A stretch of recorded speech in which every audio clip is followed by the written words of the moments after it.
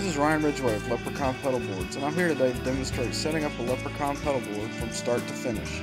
First you have your board, then your pedal locks, your cable of choice, your power cable of choice, and of course your favorite pedals. First we're going to find the spot to mount our first pedal. Once you've found the ideal spot, pick two holes Place the pedlocks in those holes. Tear off the adhesive backing, then firmly press the pedal over the two pedlocks.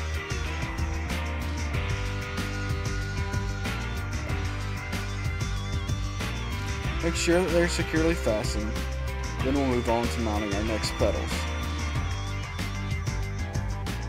And always remember that a pedlock can be removed by applying gentle pressure to the side of the threaded pin. Next we'll move on to mounting our fuzz pedal with four pedlocks, our overdrive pedal, our chorus pedal, then our delay, and finally the channel switcher to our favorite amp. The next step is to tighten the knobs to the threaded pin of each pedlock, which securely fastens and pulls the pedals tight against the pedal board. Now we move on to wiring our audio signal. And today I'm using a popular brand of solderless cable that takes only seconds to cut to length and assemble. Simply find your desired length, make your cut, firmly press on the quarter inch plug,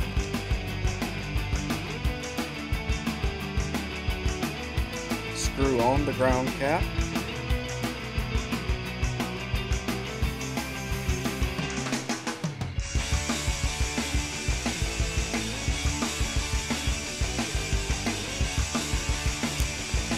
and you're done.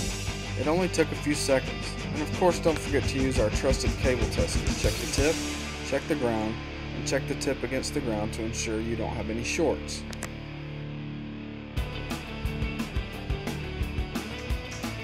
Now that we have our audio signal completely wired, it's time to move on to power.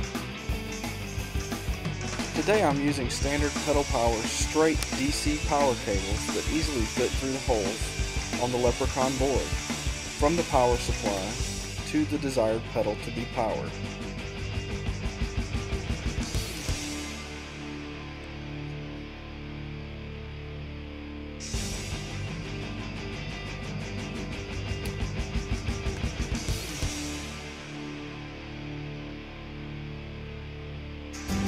Now that we have all audio and power wired, we have successfully mounted our pedals and created an entire working pedal board in minutes.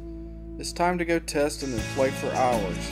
Now that you've successfully fully assembled your Leprechaun pedal board, have fun. That's all it takes from start to finish. If you liked what you saw here today, please check us out at www.leprechaunpedalboards.com.